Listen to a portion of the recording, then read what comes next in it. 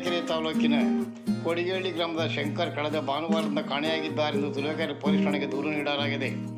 ತಾಲೂಕಿನಾದ್ಯಂತ ಹಾಗೂ ಗಿಡೇರ ಬಳಗದ ಎಂ ಎಲ್ ಎ ಶಂಕರ್ ಪ್ರಸಿದ್ಧರಾಗಿದ್ದರು.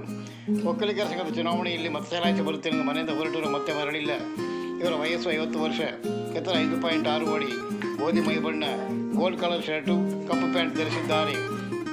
ಇವರ ಬಗ್ಗೆ ಸುಳಿವು ಸಿಕ್ಕವರು ತುಳುವೇಕೆರೆ ಪೊಲೀಸ್ ಠಾಣೆ ನಂಬರ್ ಸೊನ್ನೆ ಎಂಟು ಒಂದು ಮೂರು ಎರಡು ಎಂಟು ಏಳು, ಮೂರು ಮೂರು ನಾಲ್ಕು ಅಥವಾ ಸಬ್ ಇನ್ಸ್ಪೆಕ್ಟರ್ ಒಂಬತ್ತು ನಾಲ್ಕು ಎಂಟು ಸೊನ್ನೆ ಎಂಟು ಸೊನ್ನೆ ಎರಡು ಒಂಬತ್ತು ಆರು ಐದಕ್ಕೆ ಸುಳಿವು ನೀಡಲು ಕೋರಲಾಗಿದೆ.